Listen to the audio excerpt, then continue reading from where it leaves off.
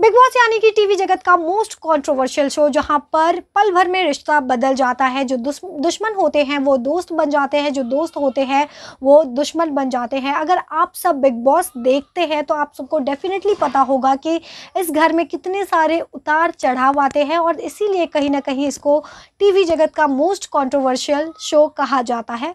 इसी सब के बीच क्या कुछ हुआ है? बीते रात ये सारे अपडेट मैं आपको दे रही हूँ। जहाँ पे हमने देखा था पवित्रा पुनिया और राहुल बहुत अच्छा दोस्त हुआ करते थे। पहले दिन से ही वहाँ दोनों दुश्मन बन गए हैं।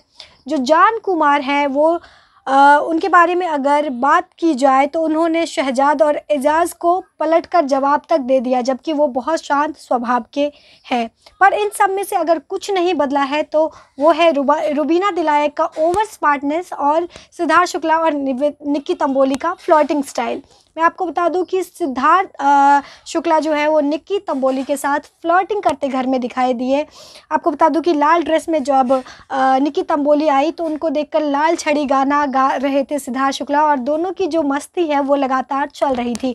इसी सब के बीच जो है रुबीना, जो कि मोस्ट टॉप कंटेंटर में से हम उनको मान सकते हैं, जिस तरीके से वो गेम प्ले कर रही है ऑडियंस को बहुत ज़्यादा उनका गेम पसंद आ रहा है। वो तीनों सीनियर्स से भिड़ती दिखी अपने एक लग्जरी आइटम को लेकर, जिसमें वो सूट, सलवार और दुपट्टे को एक ही में काउंट करना किया जाना चाहिए। इस बात बात पर बात पर जो है, बहस चल रही थी सीनियर्स और रुबीना के बीच। बहुत कुछ बवाल देखने को बिग बॉस के घर के अंदर मिल रहा है।